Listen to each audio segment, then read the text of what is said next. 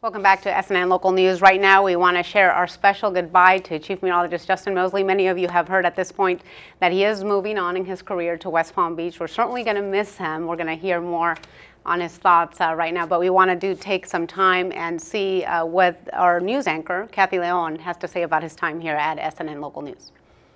All right, thanks, John, and hi again, everybody. Your Saturday afternoon is looking great out there. Low. Good evening, everybody. Look at the numbers as of 10 o'clock are in the upper. Hold on to me as we go. First impression of Justin Mosely. He walked into the studio one day in 2005 around 3 a.m. First impression was, who is this kid? He looked about 17 years old, but quickly found out he really knew his stuff. Here They had winds of uh, 22 miles. Just know you're not alone.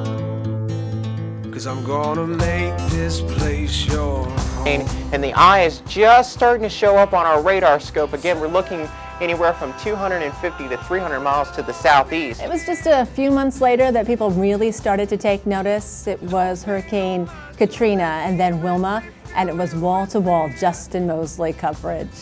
It's been busy back here in the forecast center. There were a lot of new faces back then, a lot of upheaval at the time, and it was Justin who really linked us all together, made us a family, made this our second home. Scattered clouds at best along Florida's east coast with the easterly wind flow there. Yes, and then there was that fateful day. Justin rolled in late. He had to have his weather on the air at 6 a.m. It was about 5:20. He was taping, and then it happened. And that was just the calm before the storm, the media storm. Everyone wanted to know who Justin Mosely was. Letterman called, Leno called, Rosie O'Donnell, who was on The View at that time, even the Maury Povich show, I think I took a call from then. The problem was no one knew what to do with this. This was the first real viral video of its time. And then further up the coast, we'll have to watch uh, into Venice, Englewood, and around. We put it down like New York City. Now, let me just say, don't think Justin isn't in on the jokes. He is just that smart. He plays along just to make sure that you'll laugh even harder. Continuing to track the latest with Tropical Storm Faye. No the demons, they fill you with fear.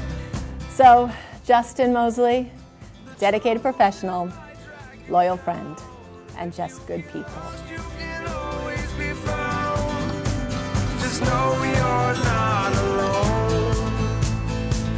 I'm gonna make this place your home. A really nice retrospective there from Kathy Leon, and as if that wasn't enough here, uh, little bit of a heartache here. Uh, We also have some letters from uh, some of our viewers. Uh, One notes, elegance leaves for West Palm Beach. We twinge when reading that our daily shot of elegance and grace meteorologist at SNN Local News, Justin Mosely, will be leaving the channel.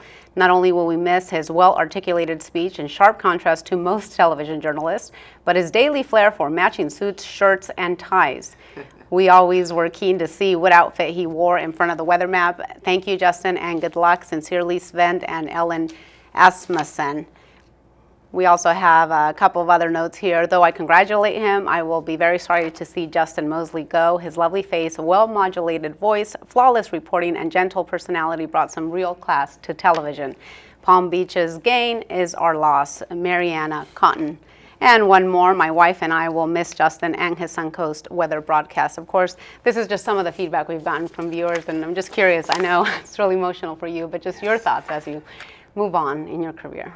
It's very difficult to uh, to move on like this because this has really become uh, my home here, and I did a lot of growing up here, Lena, and. Um, it, it's, it's hard, and I, I frequently have been saying that I'm not going to say goodbye. I'm going to be here frequently along the Sun Coast, but uh, it's very difficult, and I just appreciate all those uh, those viewer emails. So. And I do want to note something because you know so many of the viewers know you as a passionate weather meteorologist uh, and maybe out when they meet you, but they don't know you behind the scenes here and just the leadership and the professionalism uh, here at the station. So I really appreciate you for that. I just Thank wanted you. to I let you know. appreciate you too. this is my good buddy here. But That's uh, for sure.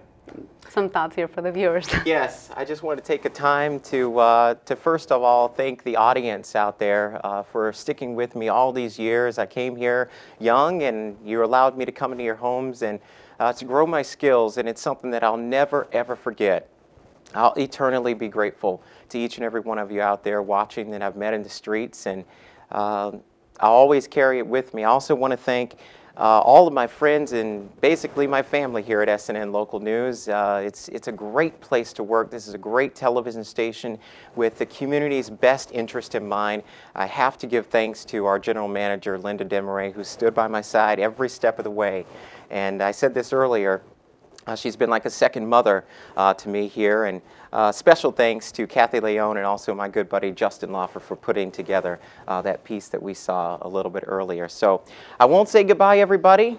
Uh, thank you for sticking with me. It's just uh, goodbye for now, and I'll be back around town. And take care, everybody. We'll miss you.